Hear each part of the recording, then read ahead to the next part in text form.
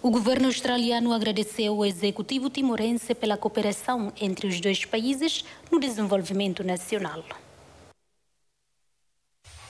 A encarregada do negócio do Departamento de Relações Externas e Comércio da Austrália, Kathleen Wilson, reuniu-se esta quinta-feira com o chefe do governo, Tauro Matanruak, no Palácio do Governo de Lei.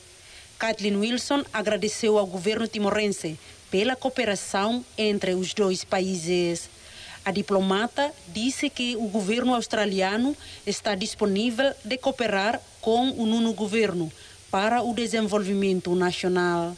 Recorde-se que o Departamento de Relações Externas e Comércio da Austrália apoiou já Timor-Leste no desenvolvimento dos setores de saúde, educação, agricultura, infraestrutura, programa Bolsa da Mãe Nova Geração, entre outros. Nuno Moraes, Alessandra dos Santos, na reportagem.